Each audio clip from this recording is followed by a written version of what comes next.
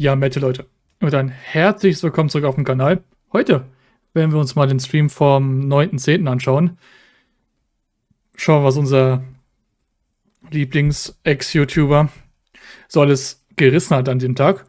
Schaut gerne beim gestrigen Video vorbei mit dem Gewinnspiel. Läuft noch bis Sonntag. Wenn ihr eine Flasche Drachen-Met gewinnen wollt, schaut da gerne rein. Kommt gerne auf den Discord, würde mich sehr freuen. Link ist in der Beschreibung. Stream heute oder morgen. Ich werde euch über Community Tab und im Discord Bescheid geben, wann und ob. Und ja, dann würde ich sagen, lasst keinen Kommentar da mit euren Meinungen zum Video. Und dann würde ich sagen, wir starten einfach mal rein. Philipp, Dankeschön. Alter, jetzt ist er schon bei 700 Rosen. Wie viele Rosen hast du raus? Dankeschön, mein Bob. Der ist stark, ne? Der ist stark geworden. Heute ja, das war, das war der Sinn dahinter, dass ich zwei Tage Pause gemacht habe. Das haben mich meine Zuschauer vermisst, Alter. Nico, Dankeschön. Voll übel, Dankeschön, Leute. Auf jeden Fall voll übel, ja. Also erstmal hatte die Musik am Anfang viel zu laut, also ne, macht jetzt keinen Sinn, das hier im Video mit reinzupacken. Er hatte darüber gesprochen, dass er jetzt ja viel auf ähm, Kickstream möchte, das, das wissen wir ja schon. Angeblich ab nächsten Montag. Ich weiß jetzt nicht, ob er bei Kick gesperrt ist oder warum eine Woche, keine Ahnung. Aber auf jeden Fall hat er oft gesagt, ja, hier Abo nur 3 Euro, liken, tippen, folgen, was weiß ich, was Reinhard immer sagt, um Geld und Reichweite zu erbetteln.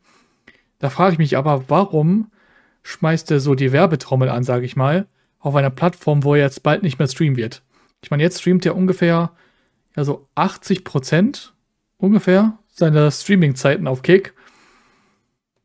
Und jetzt will er ab nächsten Montag noch mehr, also dann gar nicht mehr auf TikTok. Oder wie soll ich das verstehen? Aber jetzt noch die Leute dazu animieren zu abonnieren. Obwohl Rainer bald nicht mehr auf der Plattform streamen wird. Soll mir jemand erklären? Verstehe ich damit nicht ganz. Und dann kommen wir noch dazu, Rainer hatte erwähnt, ja, TikTok ist so eine blöde Plattform wegen den ähm, 70-30-Cut, was auch stimmt, da brauchen wir uns gar nicht drüber zu unterhalten. 70 Prozent. Stell dir 70 Prozent. Ich glaube, YouTube nimmt 40 bis 50 Prozent. Ich glaube, Kanalmitschaften nehmen die, glaube ich, 40 Prozent. Und ich glaube, Supersticker und so weiter auch 40, 45, wenn wir irgendwas um den Dreh. Ne? Ich habe es noch nie genau nachgerechnet, aber so ungefähr. Und TikTok einfach 70 Prozent. Das ist krass, wirklich. Kann man jeden verstehen, der da nicht streamen möchte aber einfach die Gründe dazu. Ne? Rainer sagt, jo, ihr müsst dann weniger Geld ausgeben, bla bla bla. Sag doch einfach, jo, ne, da krieg ich einfach einen besseren Cut und fertig. Keiner wird dich dafür kritisieren, wenn du die Plattform wechselst. Von der Plattform, okay, von Kicker, von TikTok auf Kick, okay. Aber ich denke mal, TikTok ist noch ein bisschen verwerflicher als Kick. Von einer eher, ja, nicht so beliebten Plattform, was den Ruf angeht, zu wechseln zu einer Gaming-Plattform. Ist ja gar nicht schlimm, wenn du sagst, jo, ich stream eh lieber Gaming und der Cut ist da besser Ne? So, fertig. So muss man dann nicht so rumlügen und sagen, ich, ich wechsle für euch. Ich mache das hier für euch. Völliger Quatsch. Und dann natürlich wieder die Ansage gegen ähm, ja, TikTok, so ja, wenn ihr was verändert, dann bleibe ich.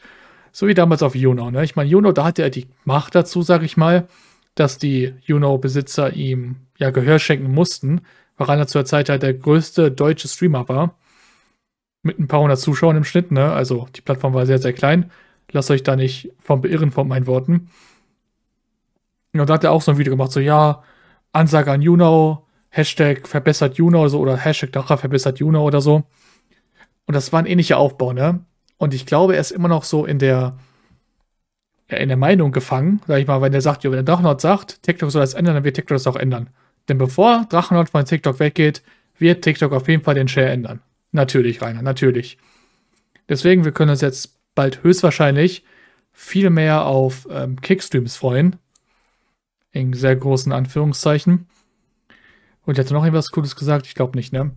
Ich finde es einfach nur total verwerflich, dass man jetzt so die Werbetrommel äh, spielt. Sagt man das so? Ich denke schon. Die Abos runtersetzt und so weiter und viel Call to Action macht und dann aber im Endeffekt nächste Woche nicht mehr das Stream wird. Naja, sollen die Leute selbst wissen, die viel reiner spenden. Und dann kommt jetzt das Beste, sag ich mal. Ne? Ich finde es sehr schade, dass er mal mit ihm streamt, weil dieser Ibo-Typ, der ist echt sehr nett, also wirklich, der ist sehr, sehr sympathisch, finde ich. Abseits davon, dass er mit Rainer streamt. Er sagt zu vorhin so, ja, Mann, Rainer, du hast bist stark geworden, ne? Einfach nur so aus Nettigkeit, ne? Er weiß, dass Rainer nicht stark ist, sage ich mal.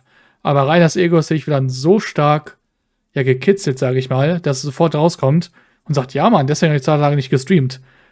Leute, die dabei waren, ich kann jetzt nicht jedes Match einblenden, aber es sind teilweise Matches mit dreistelligen Punktezahlen. Und wer weiß, wie viel davon nur durch Tippen kommen, wovon, wofür er kein Geld bekommt.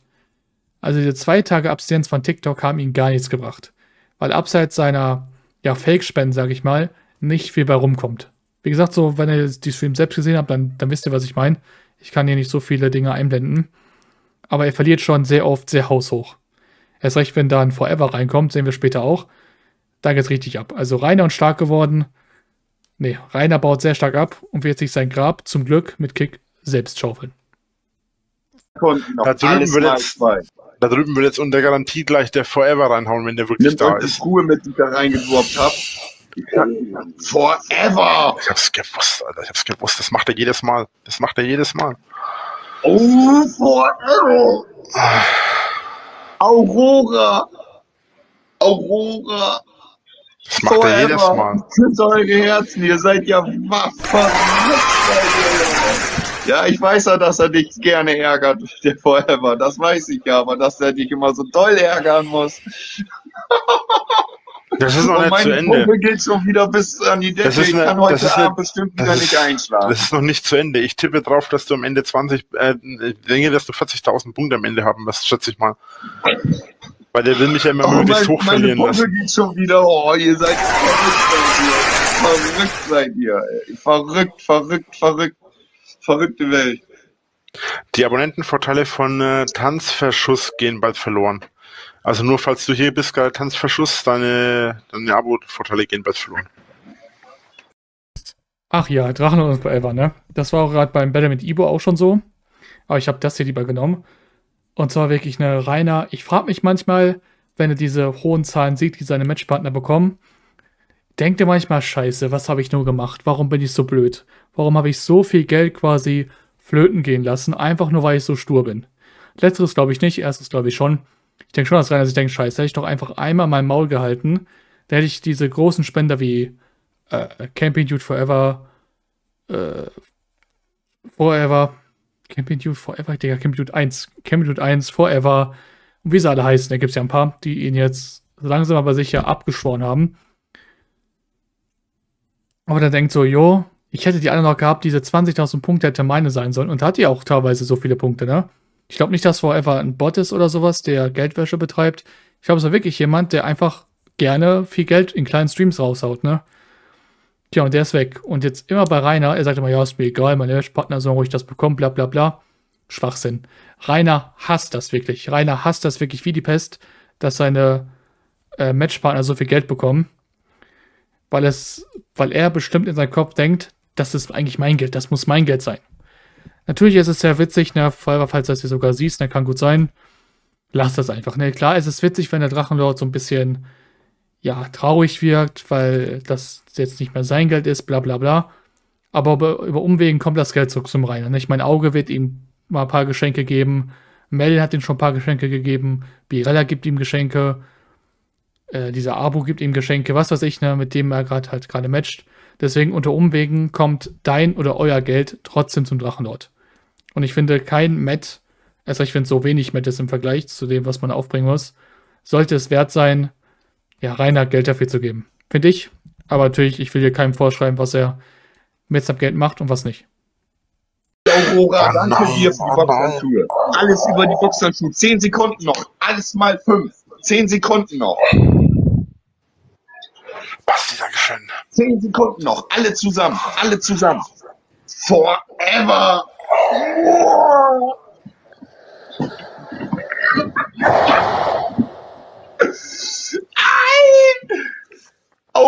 Dir auch, danke forever, Alter. Ferrari oder was war das? So ein Rennauto, Alter. Mega. Oh, meine Pumpe. Ich grüße Leon. Alter, mein Herz, mein Herz, mein Herz. Ich bin schon alt. Oh. Ganz stark, ganz stark. Oh, Alter.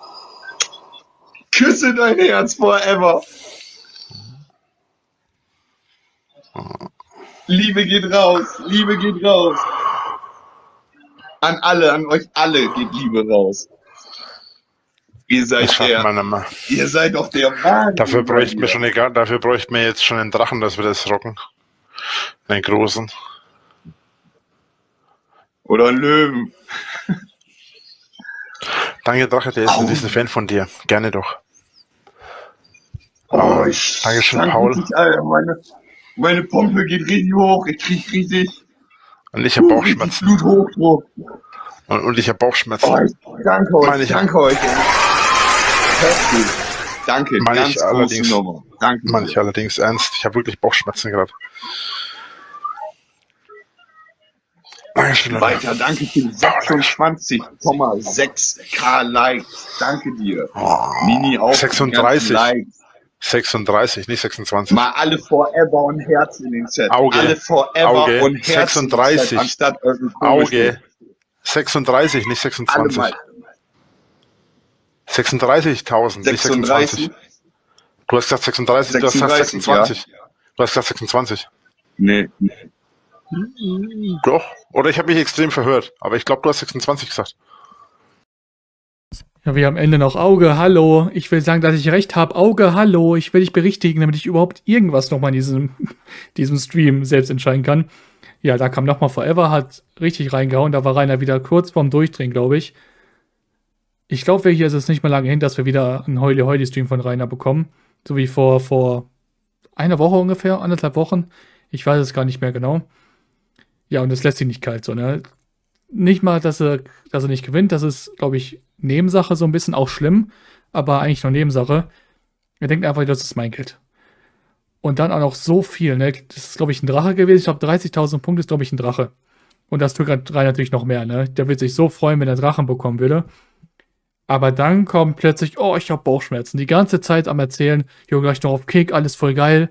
Und dann kommt wieder so ein bisschen, ja, Gegenwind, sage ich mal, von Forever und so weiter. Da ist wieder, oh, nee, oh, ich habe Bauchschmerzen. Ich meine, ich möchte euch das mal so ein bisschen erklären. So, ne? Rainer am Anfang des Streams meinte er, jo Leute, heute 20 Uhr Start TikTok, war er auch da ungefähr. Meinte ja, so zwei bis vier Stunden TikTok und dann noch zwei Stunden Kick hinterher. Heute, bla bla bla. Und dann kam zweimal Forever und dann plötzlich, oh nee, ich habe Bauchschmerzen. Dann fangen irgendwann an, auch die Bauchschmerzen nochmal zu, ja, überbieten und sagt ja, er hat Nierenschmerzen plötzlich. Und dann hatte seine Schwester plötzlich auch eine genetische Nierenerkrankung, die er aber nicht hat. Also wieder, diesmal ist die Schweizer äh, Taschenschwester. Und deswegen ist er auch um Punkt 22 Uhr auch offline gegangen, weil es ihm immer so schlecht geht. Aber er ist später noch im Discord zum WoW spielen. Natürlich, Rainer. Natürlich. Ah, einfach. Das ist so passend, ne? Rainer sofort, oh, ich habe Bauchschmerzen. Oh, ich glaube, ich kann jetzt nicht weiter streamen. Es tut mir leid, ich gehe offline. Einfach, weil er merkt, wie viel Geld er nicht bekommen hat. Um was anderes geht es ihm nicht. So 90% das, 10% dass er die Matches verliert, würde ich sagen. Aber naja, am Ende streamt er noch mit ähm, Hartgeld, Noten Records. Und die reden auch wieder, oh, Hater, MWO sieht alles, bla bla bla. Ist nichts Wirkliches passiert. Und dann kam der Moment der Momente, Rainer meinte, jo, Leute, noch ein Match. Wenn ich das gewinne, mache ich eine halbe Stunde länger. Surprise, surprise, er hat verloren. Und meinte dann, ein Mann, ein Wort, ich gehe jetzt offline. Rainer Winkler, Lügenlord himself, Mr. Ankündigungslord, sagt ein Mann ein Wort und geht dann offline. Ja, ja, man ist alle sehr, sehr überrascht, würde ich sagen. Aber ja, dann ist Rainer traurig vom TikTok-Palast runtergelaufen und in den Discord rein, um WoW zu spielen. Obwohl es ihm sehr schlecht geht und er deswegen nicht auf Kick streamen kann. Ich verstehe generell nicht, warum er sagt, jo, ich habe so viel gemacht die ganze Zeit, wo ich bin so ausgelockt, ich brauche dringend ein Wochenende frei. Er hat das ganze Wochenende das gemacht, was er auch sonst macht, nur halt ohne Stream. Sprich, er hatte keinen Bock auf diese Chat-Interaktion und deswegen nicht gestreamt. Das sollte alles zu seinen Fans sagen, was gesagt werden muss. Ich würde sagen, das gerne auch Meinung zu seinen Bauchschmerzen in, in den Kommentaren. Würde mich sehr interessieren. Würde ich sagen, wir sehen uns heute oder morgen beim Stream, im nächsten Video, in den Kommentaren, im Discord, überall. Kommt kein drauf, wie gesagt, erster Link in der Beschreibung. Und dann sehen wir uns. Haut rein.